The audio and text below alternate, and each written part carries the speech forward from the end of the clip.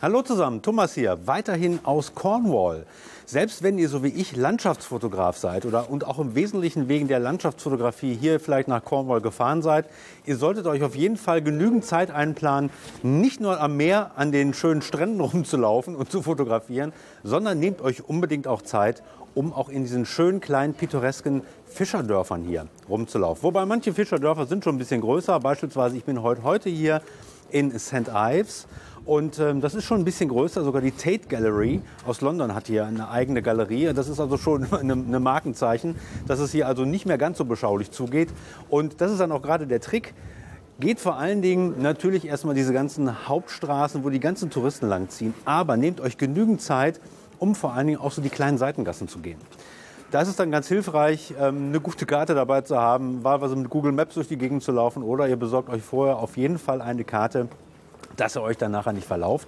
Und dann geht wirklich kreuz und quer in die kleinen Gassen. Hier zum Beispiel hier sowas, was ich jetzt gerade gefunden habe, so ein kleiner innerstädtischer Garten, beziehungsweise so, so, so ein Garten, der so mitten hier an so einer kleinen Gasse liegt und wirklich super beschaulich, so eine kleine grüne Oase mittendrin. Also das sind so Sachen, die lohnen sich auf jeden Fall und für sowas solltet ihr euch unbedingt Zeit nehmen.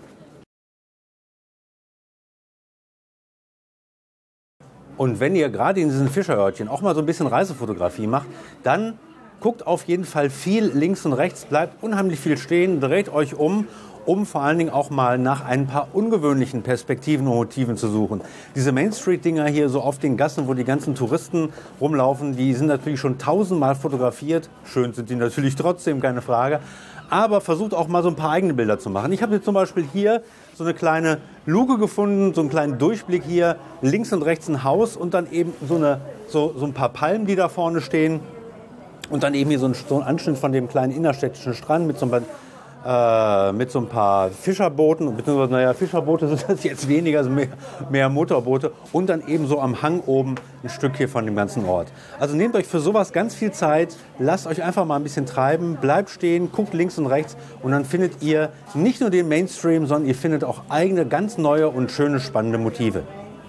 Wenn ihr dann Motive habt, die ihr frontal fotografieren wollt, wie zum Beispiel diese Tür hinter mir oder auch Fenster, die ihr vielleicht von unten nach oben ein bisschen fotografieren müsst, dann achtet auf jeden Fall darauf, dass ihr mit Bildpuffer fotografiert. Also dass ihr ausreichend Platz links und rechts um eu euer eigentliches Motiv habt, damit ihr dann später in der Bildbearbeitung dieses angekippte, dieses leicht schiefe, dieses leicht verzogene durch eben diese Perspektive, wo man leicht von unten schräg nach oben fotografiert hat, auf jeden Fall korrigieren könnt und damit das dann nachher im fertigen Bild schön gerade und schön äh, plan aussieht.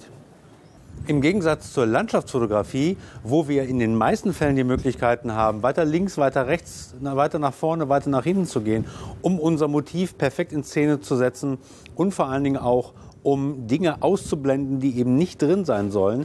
Genau das Gleiche ist natürlich hier auch ganz wichtig, wenngleich wir natürlich hier in so einem Ort durchaus eingeschränkte Möglichkeiten haben, das zu tun.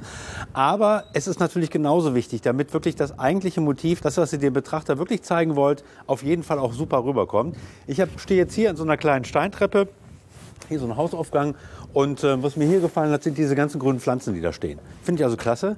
Ich kann das natürlich jetzt so fotografieren, dass ich die ganze Treppe mit dem Geländer, was auch durchaus nicht schlecht ist, weil es so rot und rostig ist, ich kann das Geländer mit fotografieren. Das führt aber dazu, dass ich so einen Anschnitt von der Straße habe und vor allem diese wunderschönen grünen Mülltonnen. Und genau die möchte ich nicht im Bild haben. Und deswegen, und das zeige ich euch jetzt mal in diesen beiden Vergleichsaufnahmen, habe ich eine Aufnahme gemacht und das wäre mein Favorit, wo ich wirklich nur diesen Stück von dieser Steintreppe, also einen Ausschnitt aus der Steintreppe mit diesen Blumenkübeln und den grünen Pflanzen darin fotografiert habe. Das ist genau das, was für mich eigentlich diese Szene ausmacht.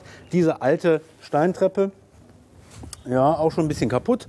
Und dann eben diese grünen Pflanzen, die so richtig für jede Stufe steht da mindestens eine. Und das ist eigentlich so diese schöne Szene, die ich ganz wichtig finde ich opfere das Geländer, aber ich habe dann die Mülltonnen nicht drin. Also es ist ganz wichtig, dass ihr euch genau überlegt, was wollt ihr wirklich fotografieren und wirklich alles aus dem Bild rauslasst, was wirklich nicht unbedingt dazu beiträgt oder sogar wirklich das Bild stört.